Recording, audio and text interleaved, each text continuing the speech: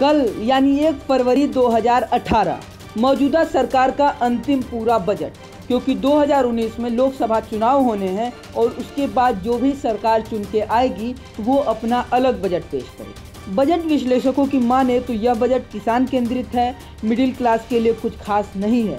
पिछली बार की तरह इस बार भी टैक्स स्लैब में कोई भी बदलाव नहीं किया गया है। लेकिन जरा याद कीजिए अरुण जेटली का 21 अप्रैल 2014 का वो बयान, जिसमें चुनाव प्रचार के दौरान वे चीख चीख कर पाँच लाख तक आय वालों को कर मुक्त करने की बात कर रहे हैं। खैर, आइए जरा बजट की महत्वपूर्ण बातों को देख लेते हैं।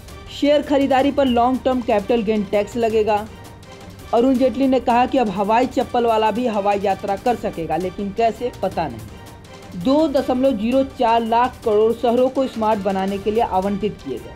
प्रत्येक तीन लोकसभा क्षेत्रों में कम से कम एक मेडिकल कॉलेज खोला जाएगा। सत्तर लाख नई नौकरियों की भी बात की गई है लेकिन कैसे पता नहीं। सौभाग्य योजना से गरीबों के घर में बिजली के लिए सोलह हज़ार करोड़ रुपए आवंटित किए गए। खरीफ फ़सल में सभी फ़सलों का एमएसपी डेढ़ गुना बढ़ाया गया बिज़नेस स्टैंडर्ड की रिपोर्टर मेघना सेन से जब हमने बात की तो उनका क्या कहना था? आइए सुनते हैं। When the finance minister finished his 110 minute speech, we did not know how to score him.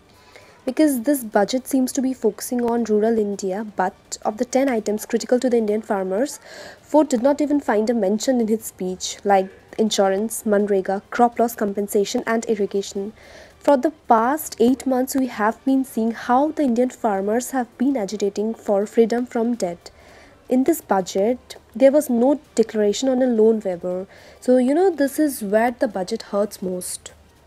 बातें बहुत हैं, पर फ़िलहाल के लिए इतना ही। आप देखते रहिए या न्यूज़। देश विदेश की बड़ी खबर सबसे पहले देखने के लिए सब्सक्राइब करें और बेल आइकॉन पर क्लिक करें।